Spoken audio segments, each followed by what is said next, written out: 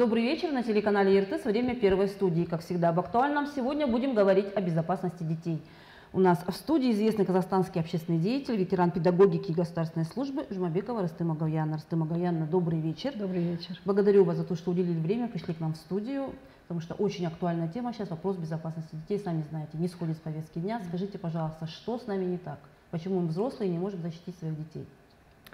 Такой хороший, глубокий вопрос.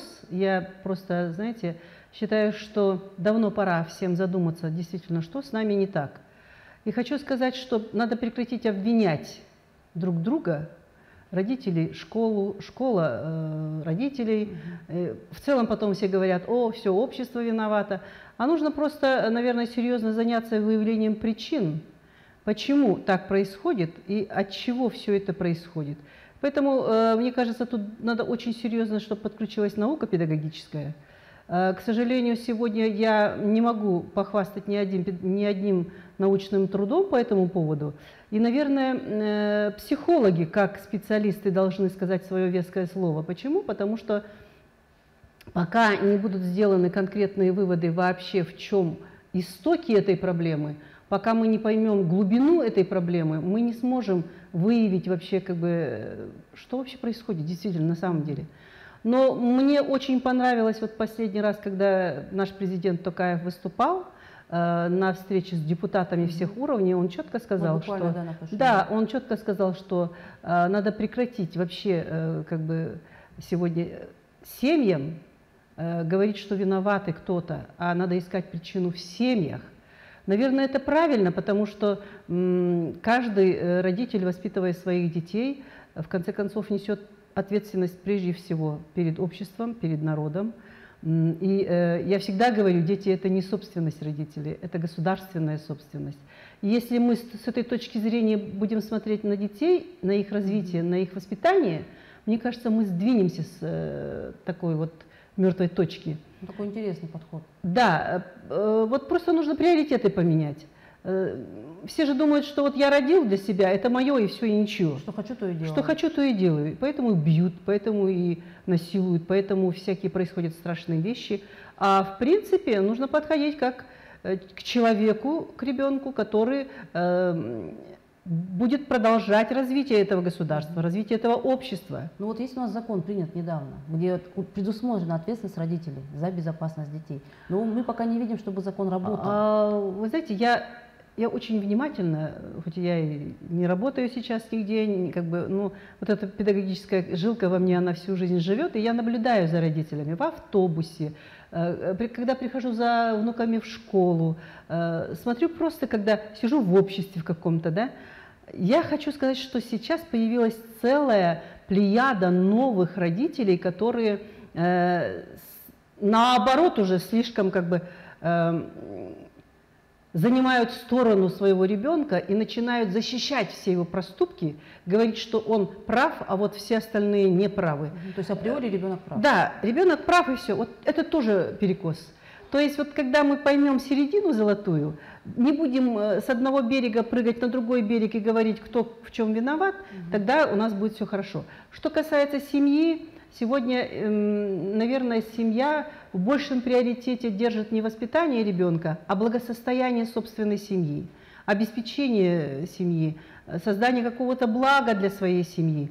А знаете, когда я работала в Совете по защите прав детей, мы делали анализ, и оказалось, что у нас практически большинство детей, которые совершают суицид, это те дети, которых как будто бы называют из благополучной семьи. Мы же смотрим благополучие не в том, что он развит нравственно, духовно, воспитан и так далее. Мы благополучие смотрим, как он одет, как он кушает, в каком доме он живет, Как он отдыхает. как он отдыхает, куда летает и так далее. Вот, вот это мы считаем благополучие. Нет, к слову благополучие нужно относиться ос- абсолютно по-другому.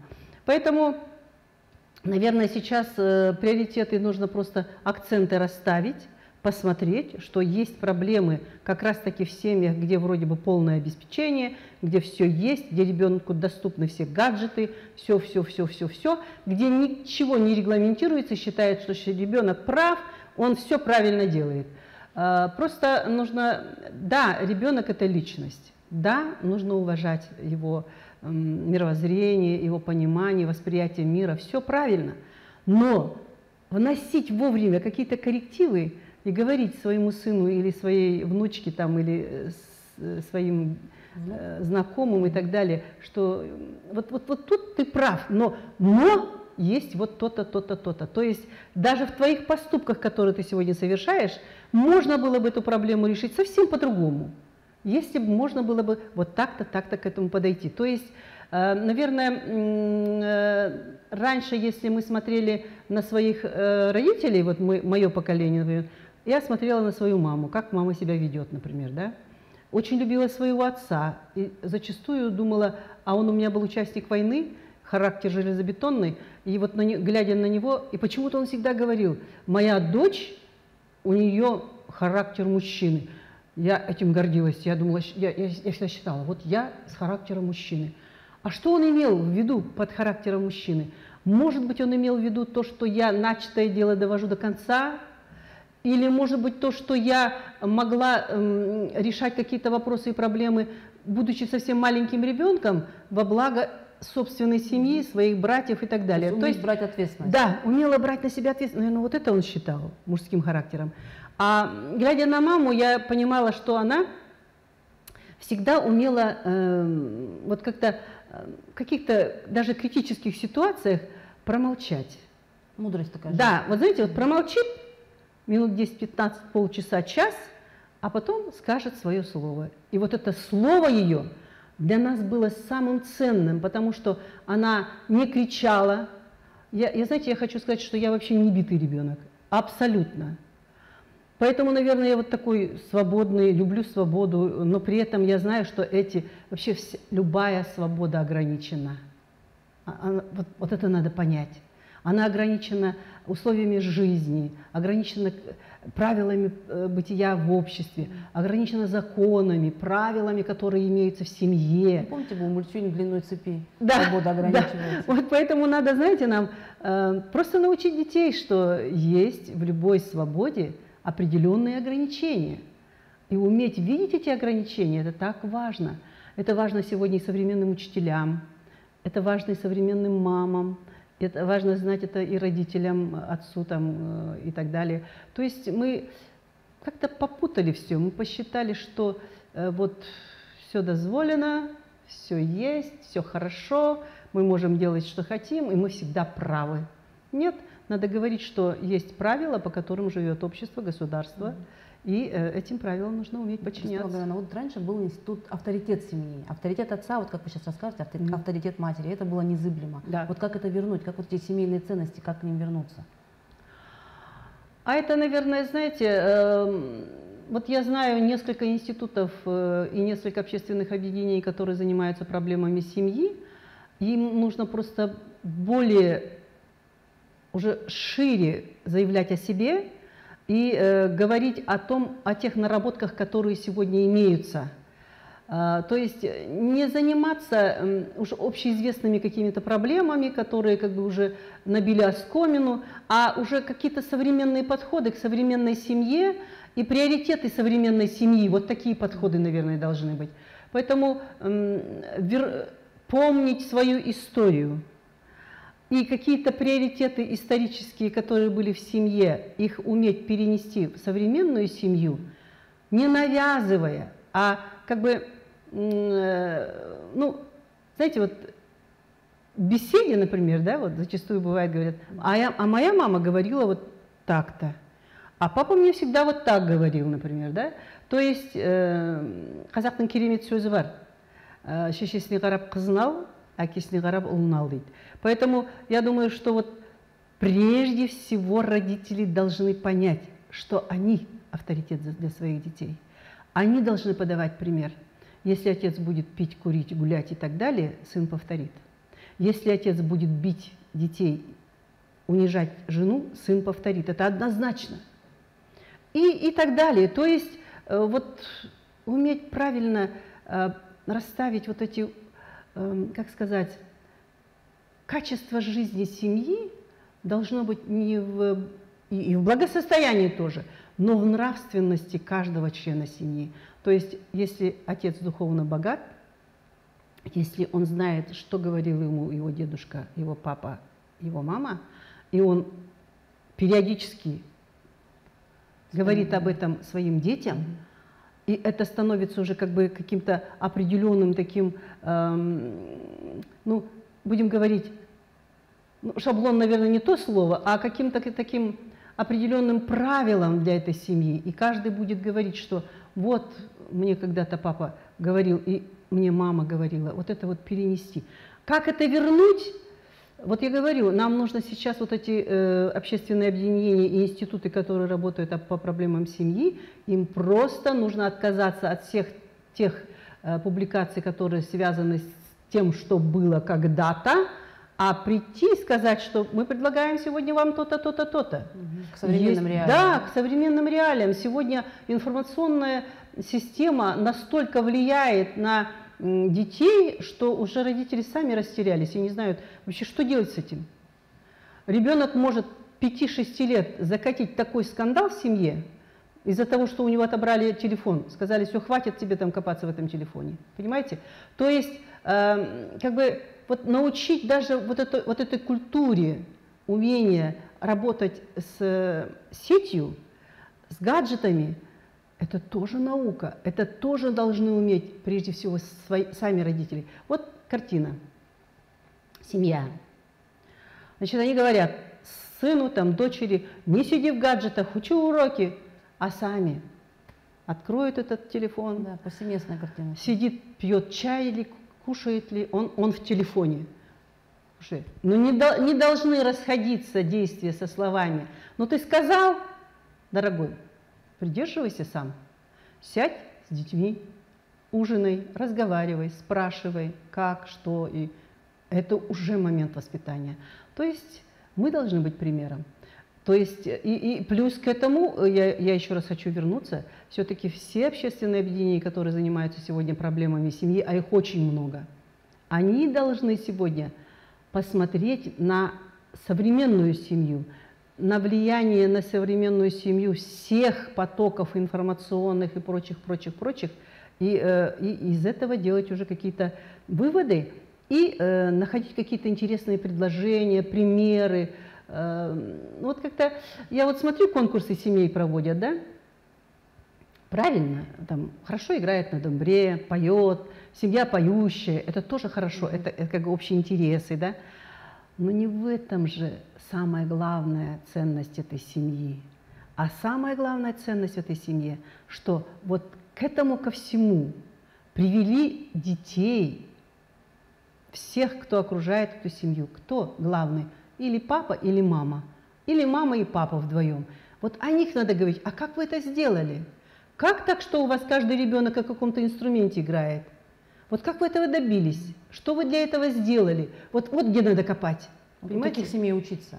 У таких опыт семей перенимать. учиться, опыт перенимать. В спорте. Сейчас вот я смотрю, очень много родителей прямо, вот знаете, серьезно занимаются тем, что вовлекают детей в спортивные кружки, э, дополнительно платят за то, чтобы там он занимался футболом, там чем-то еще и так далее, и так далее, плаванием, очень серьезно. Это, это супер хорошо, это супер хорошо. Ну, Видите как, воспитание, знаете, вот... воспитание в семье вообще в принципе по большому счету состоит из больших блоков – и мелких-мелких-мелких деталей, и вот думаешь, что важнее, вот эти блоки или вот эти детали. И приходишь невольно к выводу, что детали важнее, из них создаются блоки. Ну вот в последнее время да, очень много государства предоставляет, в принципе, вот у нас программа «Артспорт» работает, очень много э, секций, очень много кружков. В принципе, занимайся, не хочу.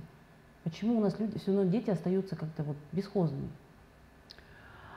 Вот это вопрос такой. Вот когда я читаю, вот там нарушения нашли э, там-то, там-то, кружковую э, значит, деятельность забросили, дети не ходят, мертвые души, наказали того, посадили того, оштрафовали того и так далее, я всегда расстраиваюсь. Потому что ребенок же не робот.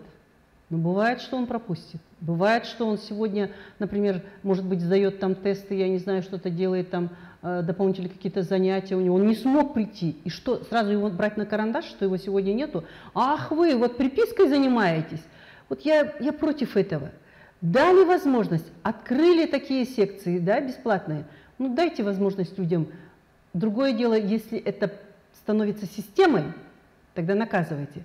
Но если тренер объясняет, вы поймите, вот то-то, то-то, то-то, то-то, слушайте, вот сегодня его нету. А у нас так, кто только не проверяет. Все же проверяют. Слушайте, кончайте проверять, начинайте действовать, уже отчетов, работать. Отчетов очень много. Отчетов очень много, но все проверяют, чего проверяют, кого проверяют. Я сама была когда-то проверяющим руководителем, но э, чтобы каждый день вот над душой стоять, слушайте, с Нет, пистолетом. В те времена, мне кажется, не так много было, наверное. Да, я думаю, что это неправильно. И вот как-то стало модно проверять, находить и наказывать. В чем причина, не знаю. И приведет ли это к чему-то хорошему, тоже не знаю, время покажет. Но я еще раз хочу сказать, не бить по рукам вот этих людей, которые возглавляют спортивные секции, кружки, значит, э, всевозможные э, для талантливых людей, э, детей всевозможные вот эти вот объединения, не бить по рукам, а дать возможность им раскрыться, начать работать так, чтобы действительно, чтобы спорт стал массовым, чтобы дети массово ходили. Ну, не знаю, может быть, эм, может, я что-то неправильно понимаю в той части, что э, люди не смогли организовать это все как положено. Но тогда эм, разговор совсем по-другому. Вот ко мне недавно приходила на эфир уполномоченный по правам ребенка по Павлодарской области, Ага. и она вот такую фразу сказала, что у нас не учат быть родителями. Ха, это же невозможно. Вот тоже такая вот, ну, как бы это хорошая, такая интересная мысль. Вот как научить людей быть родителями, причем хорошими родителями. Знаете, я хочу сказать, что жизнь сама научит тебя, если у тебя есть цели правильные, приоритеты правильные, быть хорошим родителем. А сказать, что ты вот делай вот так, вот так, вот так, вот так, и ты будешь хорошим родителем, вы можете послушать и сказать, какое твое дело, слушай. Вот опять-таки тут, да, вот мой ребенок, Да, что хочу, то и делаю. Да, э, какое твое дело, в конце концов. То есть, опять-таки, вот, да, все-таки вот есть великое слово культура. Я вот, я прямо, знаете, вот каждый раз об этом говорю и не устаю об этом говорить.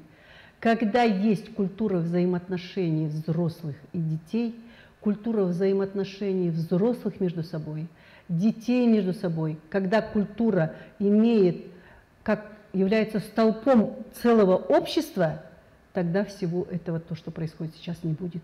Нужно развивать именно культуру отношений. И вот как разделить все-таки зону ответственности? Да, понятно, что родители в первую очередь отвечают за безопасность детей. Школа тогда за что отвечает? О, для этого нужна отдельная программа. Почему? Потому что э, вот то, что сегодня современные учителя эм, переживают огромную трансформацию вообще в своей деятельности, это ничего не сказать. Потому что, э, в принципе, сегодня от них требуется очень много.